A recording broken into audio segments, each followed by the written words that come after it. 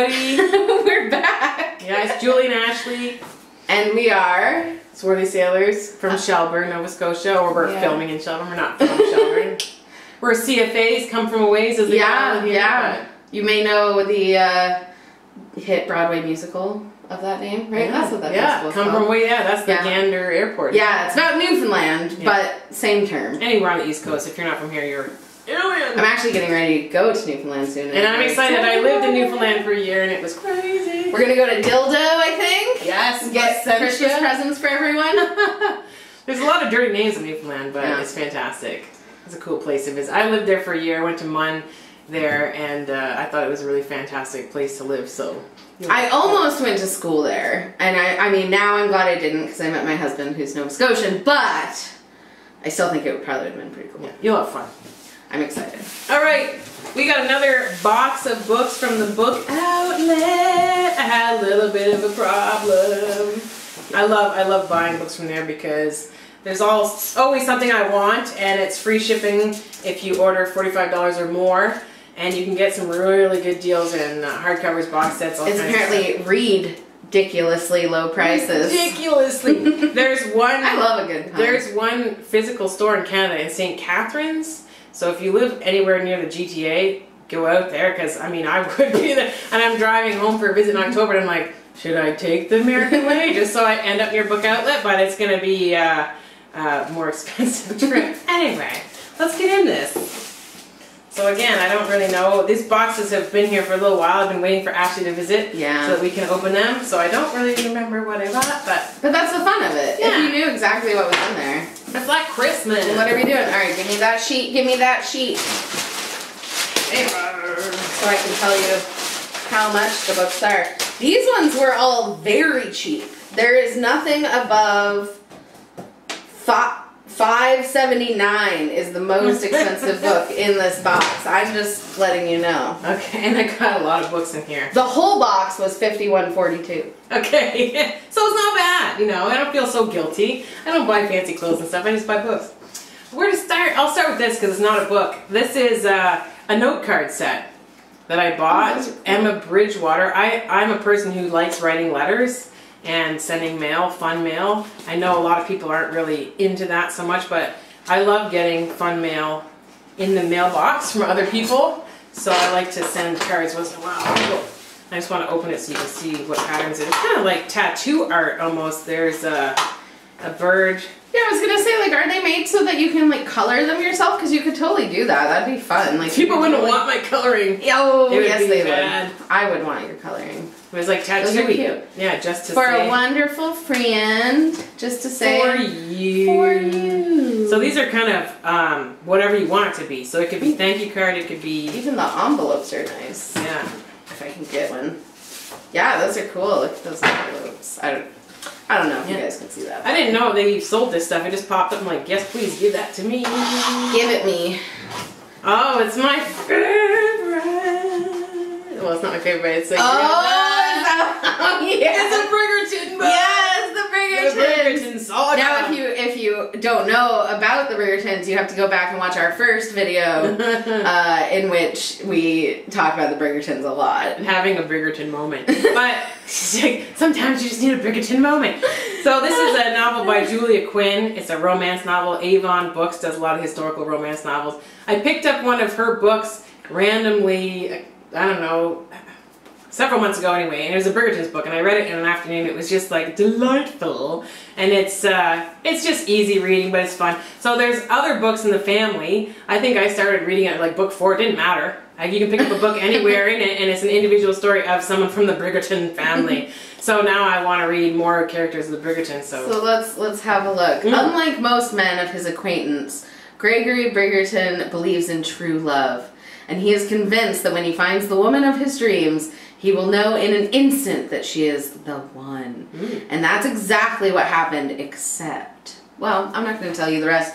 You're gonna have to buy the book uh, and have your and have your very own personalized Bridgerton moment. yes. Anyway, awesome. this is different. So this book is called Celtic Lightning: Ooh. How the Scots and Irish Created a Canadian Nation. that was my nickname in high school. Celtic Lightning. I'm gonna tell you a funny story. Just a quick story. Um, so I was teaching up in northern Manitoba on a Cree reserve up there, and uh, I went to a party, and someone there was like, "Joel, we're gonna give you your Indian name." And I was like, "Oh, I'm curious now." So the Indian name I got was White Lightning.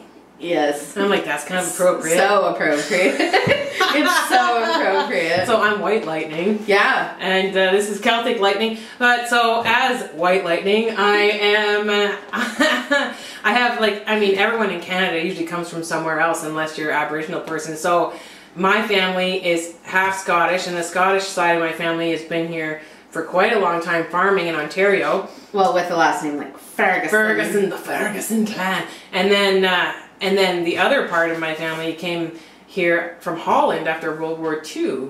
So uh, anyway, I'm just curious about about the history of the Scots and and Well, and apparently this is the author who wrote How the Scots Invented Canada, which is a book that I have.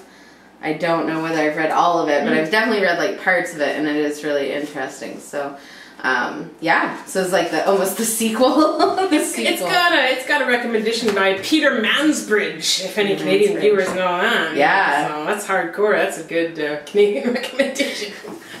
I love it. Yeah, I like the little maple leaves with the tartan too. It's Yeah. cute. some uh, Cool. nonfiction Yeah.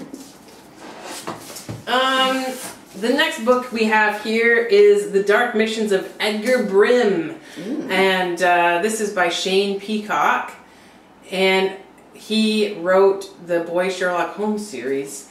I don't know much about this book. Uh, it's supposedly fantasy. And it said that the main character suffered from night terrors since he was in the cradle, which I also suffered from night terrors uh, as a kid, and I was a massive sleepwalker and all kinds of like traumatizing dreams. And uh, the back, it's so I was interested. It says Edgar Brim can't breathe. An old woman is upon him. You know, Yeah. she digs her knees into his chest. Her talon hands grip his throat, and her vile breath assaults him. Only his brain is alive and it's on fire. He wants to scream but can't. He opens his mouth, but no sound comes out. This time, the old crone may kill him. He is sure that one day she will. He tries to tell himself that she doesn't exist, but he knows better. The hag is as authentic as the moors around them. I mean, if you're gonna have a dark story, it's gotta be set in the moors, right? the hag! The hag of the moors. The hag is a common thing of like sleep paralysis. It's also called Yeah. the hag. So Yeah. anyway, I don't know. He's got a bullet. I don't know what's going on with that book, but it sounds intriguing. Sure does. Yeah.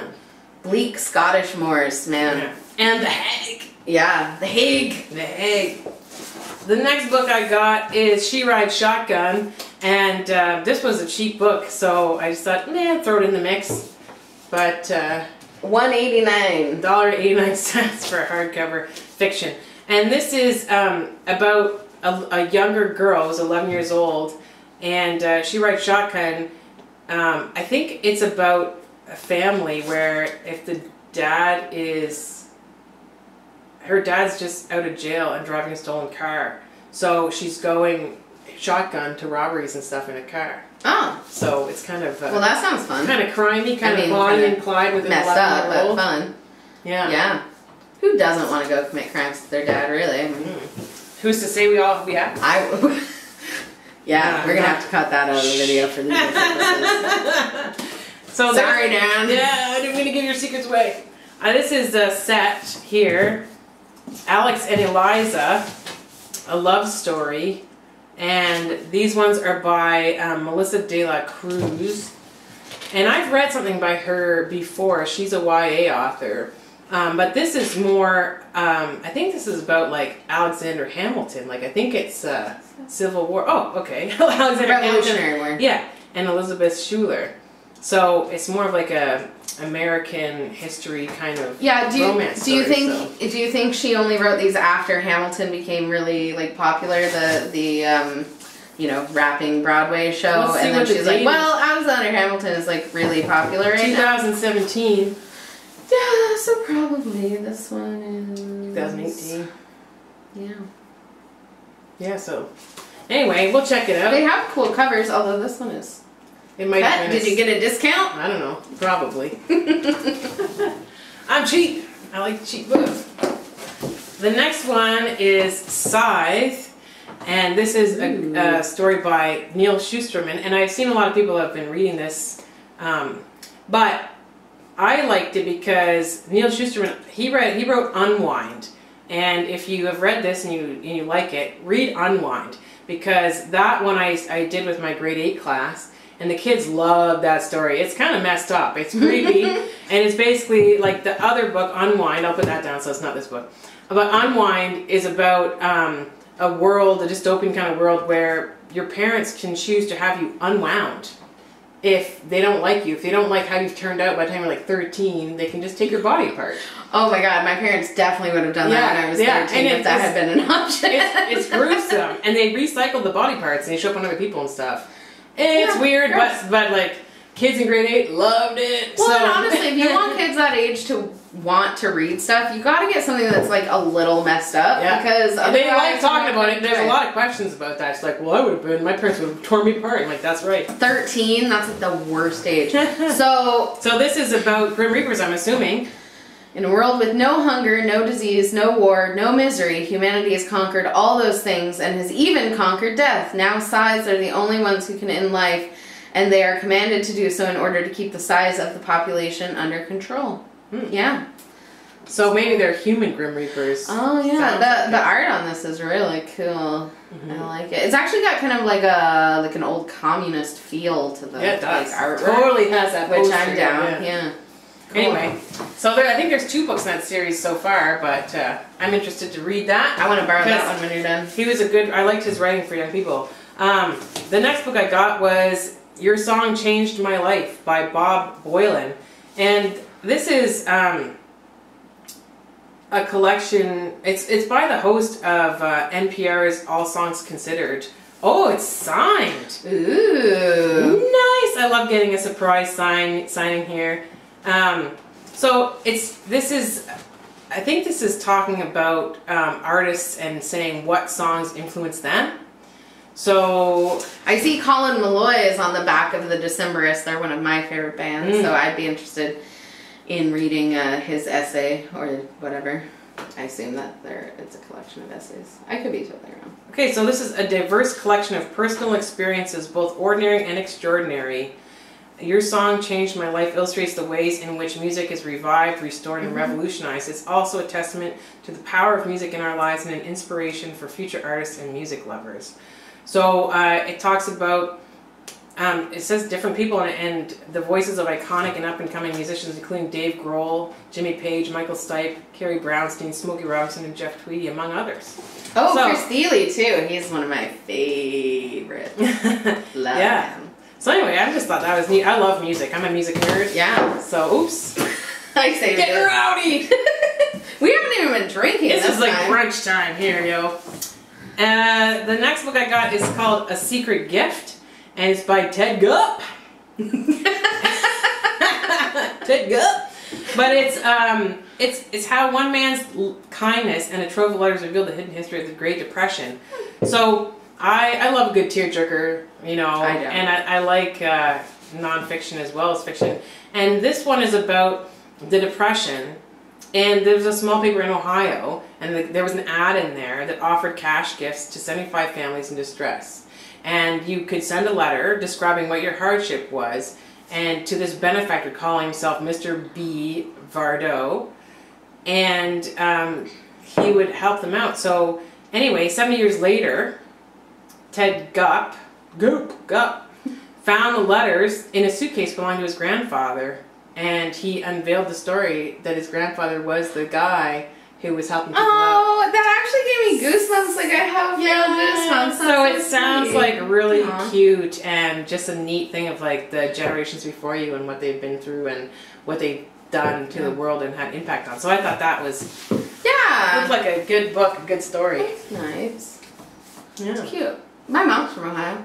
Oh, Did you know that? I did not. Yeah. Yeah. She grew up there. That's cool. Sandusky. Cedar Point. Random, random story. hmm Another nonfiction. This book's got this box is a bit of a nonfiction. This is Endurance, um, which is the true story of the polar explorer Ernest Shackleton's ship in Antarctica, and they got yeah they got stuck there on the ice for quite a while. So and with 27 crew members.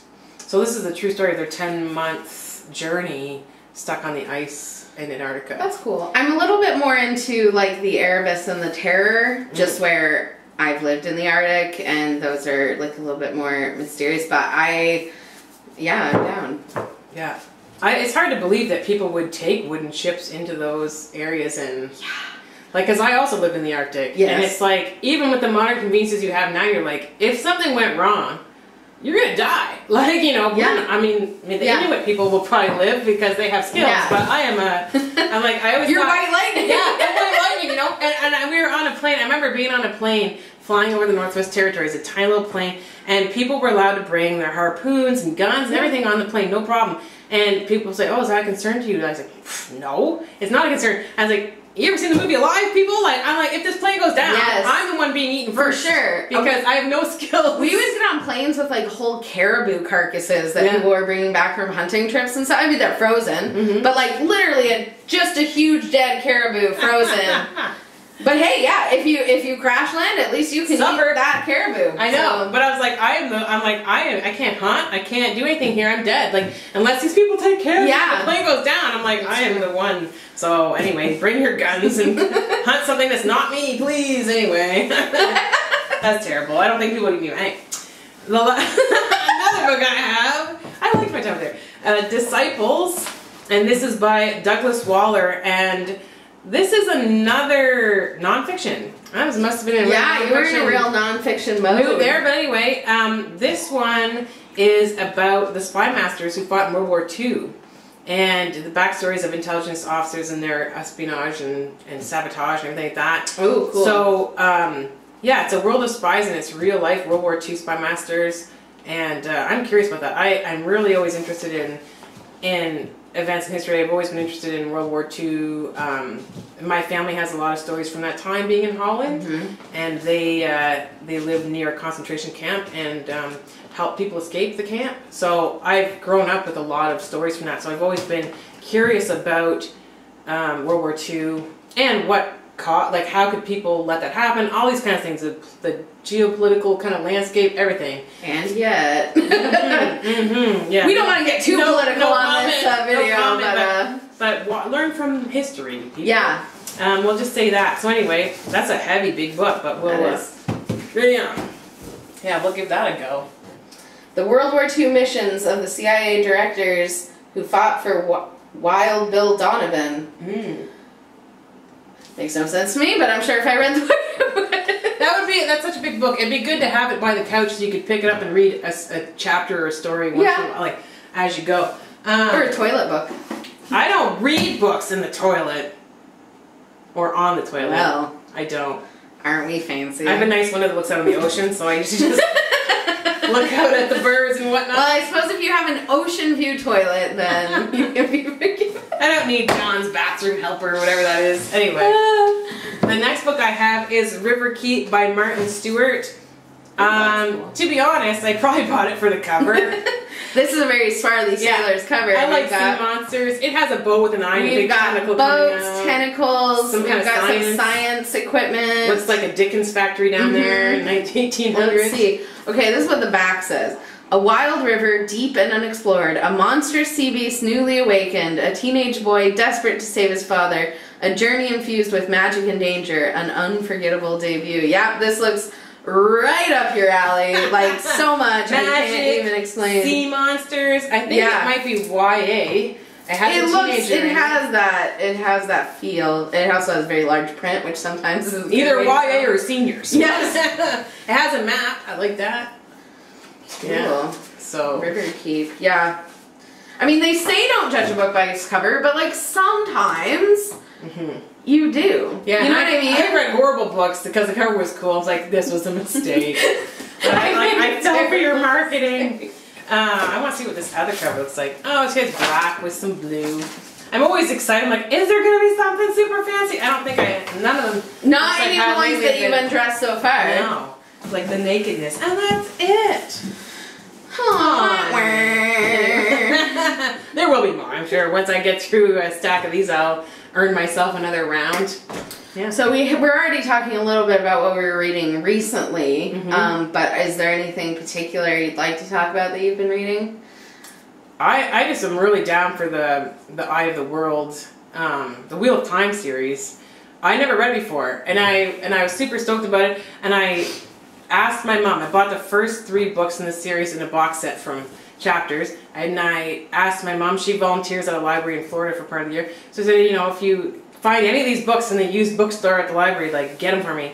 And she ended up having a friend that works down there who had them all and was willing to give them Yeah. to her. So anyway, I have the whole up to number fourteen.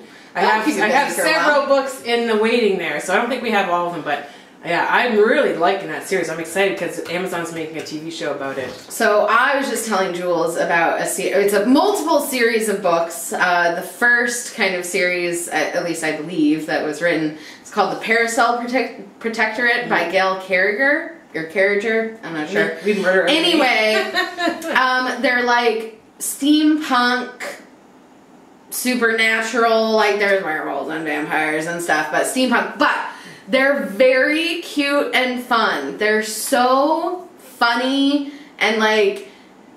I just cannot recommend them highly enough. I just read the last one in the most recent series, and I was so bummed that it was the last one of that series. it's so hard.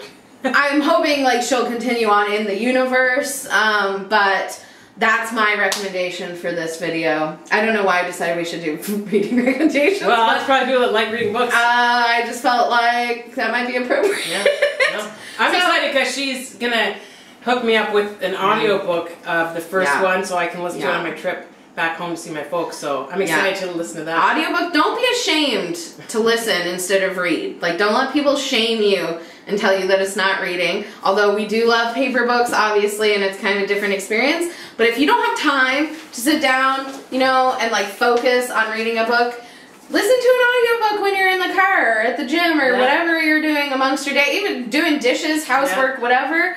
Like, get it in you. Yeah. Get it in you. That is the motto of this show. Get it in you. Reading. Get it in you. Yes. On that note, And don't. Yeah, library card. I was gonna say something about your library card, but never mind. yeah, no, library cards are good. And you can always get audiobooks. Don't get your library card in you. Put it in your pocket. Anyway. Anyway, I've been Ashley. This has been Jules. Thanks for joining us yet again. Yeah. And uh, if you guys keep enjoying our videos, we'll try to keep doing them for you as long as we can. Yeah. Okay. Happy reading. Bye. Bye. Get it in you. Reading, get it in you. That's the best.